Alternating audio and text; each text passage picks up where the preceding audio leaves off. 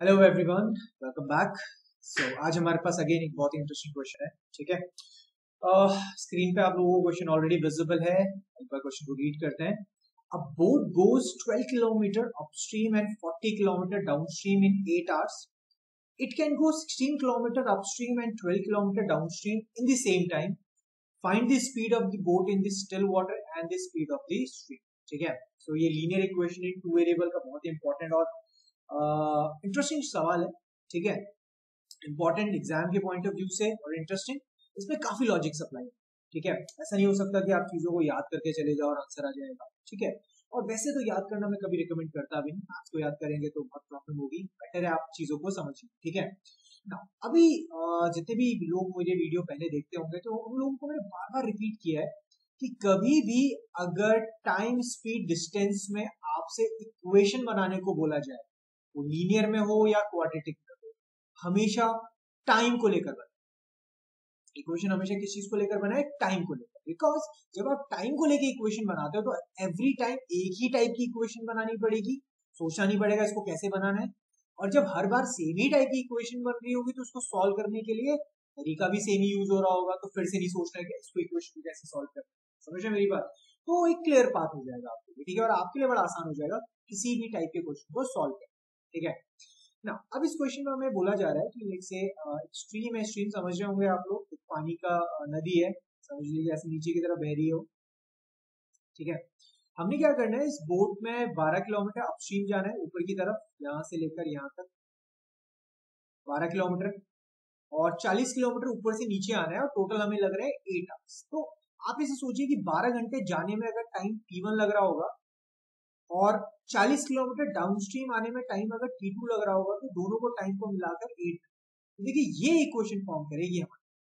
पहली भी और दूसरी भी। ठीक है? तो इसी को लेकर इक्वेशन फॉर्म कर है। ठीक है? पहली बात तो ये क्लियर ठीक है?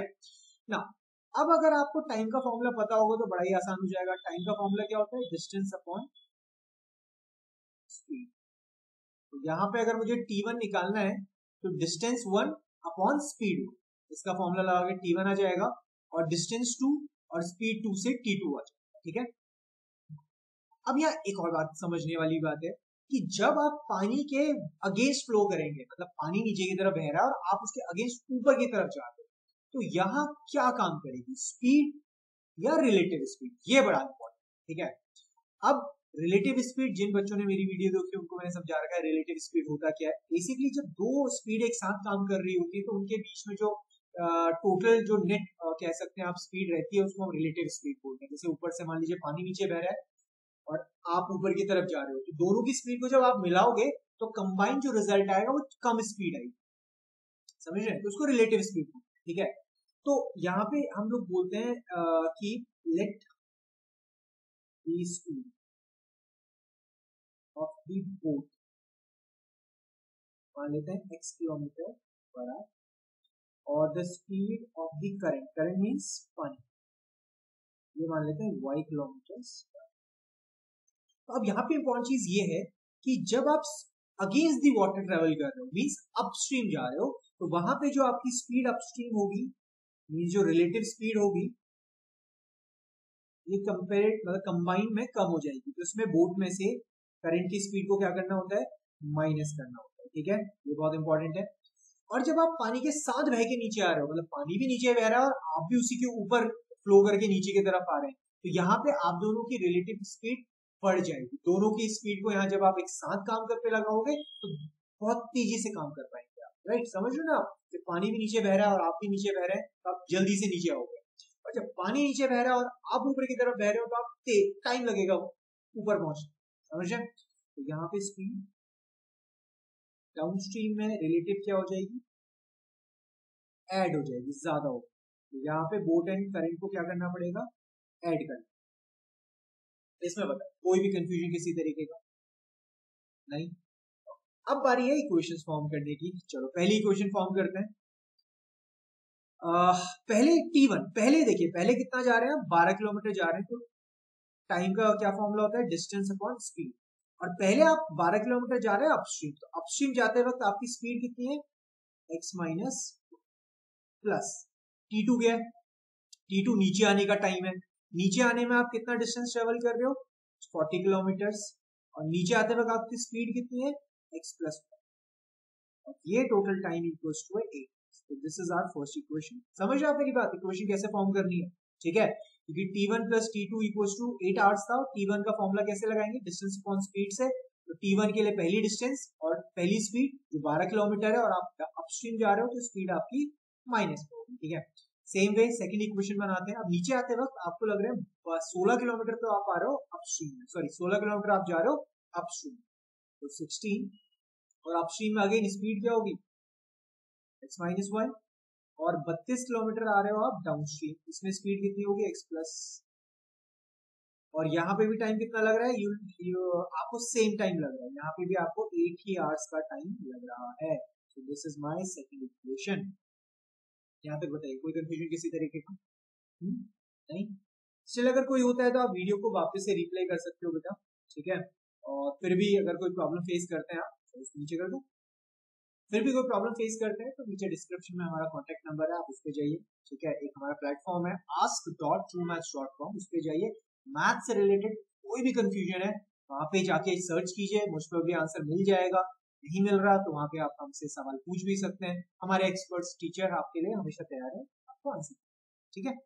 चलो, अब ये दो इक्वेशन अब आपको पता है इस टाइप की जब दो लीनियर इक्वेशन फॉर्म करती है तो उसको डायरेक्टली सॉल्व करना होता है। ये जो डिनोमिनेटर में वेरिएबल है, इसको कुछ मान लेते लेट कर लेते हैं। One upon X minus Y को तो ए मान लेते हैं और one upon X plus Y को मान लेते हैं।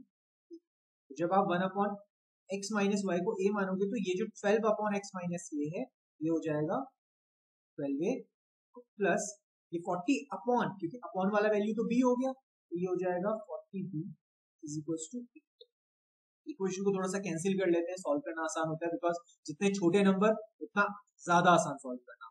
अगर कॉमन किसी वैल्यू से सारा पूरे के पूरी इक्वेशन अगर डिवाइड हो रही है तो कर डालो, ठीक है? सॉल्व करना बहुत आसान हो। जाएगा जैसे यहाँ पे ट्वेल्व फोर्टी और एट आई थिंक फोर से हो जाएगा।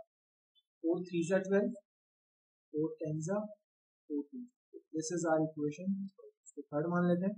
ना अब आपने, क्योंकि ये देखिए one upon X minus Y को ए माना है तो यहाँ पे सिक्सटीन अपॉन ये वाली वैल्यू कितनी हो जाएगी?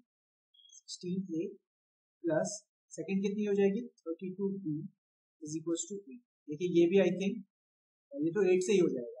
एट टू जा सिक्सटीन एट फोर जा थर्टी टू एट टू जा sorry eight one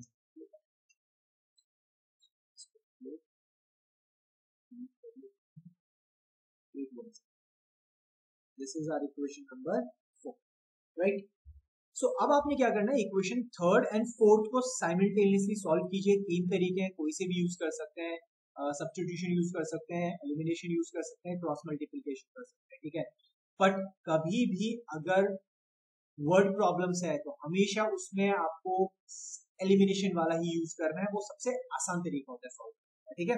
चलो, दो इक्वेशन है नेक्स्ट स्लाइड पे चलते हैं और दोनों इक्वेशन को सॉल्व करते हैं हमारे पास, ठीक है? पहली है equation three A plus ten B equal to three A plus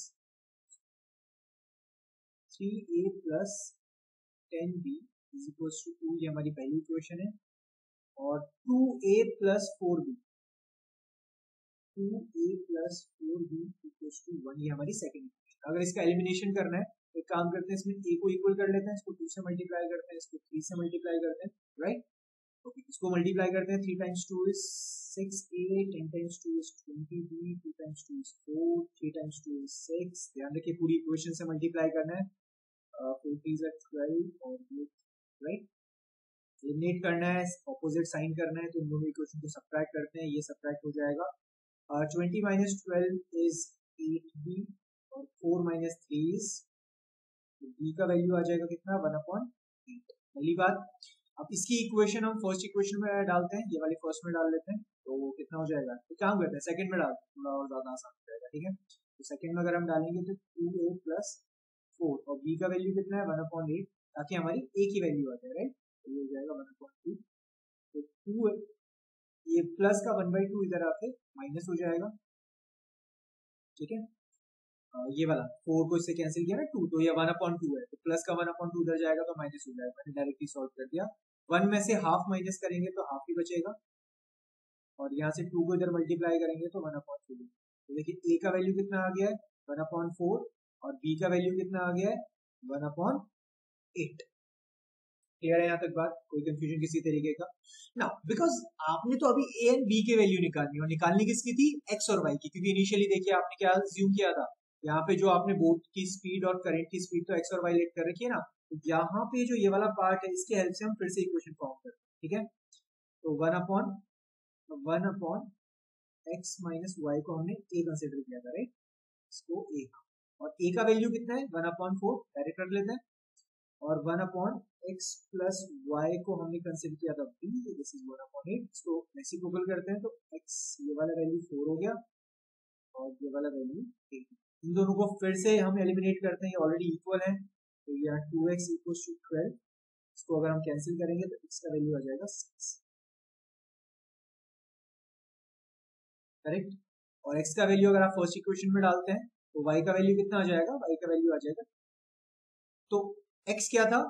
आपने लेट किया था स्पीड ऑफ़ दी बोट ये आ रहा है सिक्स किलोमीटर पर आवर और स्पीड ऑफ़ दी करंट कितना है? Two kilometre right so I hope ये वाला क्वेश्चन समझ आया आप लोगों को। फिर से मैं नेक्स्ट स्लाइड पर ले जा लेता हूँ आपको।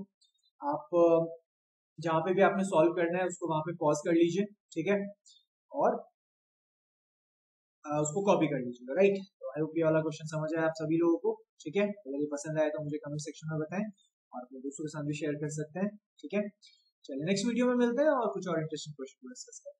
Thank you very much